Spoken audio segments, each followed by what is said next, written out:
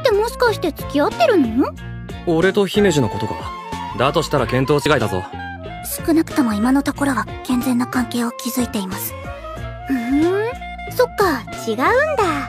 それなら。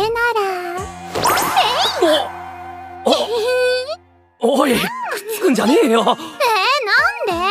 こんなに可愛いノアとくっつける機械なんだから。甘い匂いがする。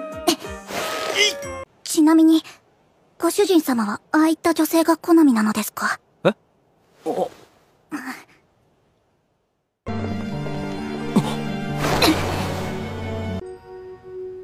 この子超可愛くない？か可愛くありません。してるから大丈夫だって。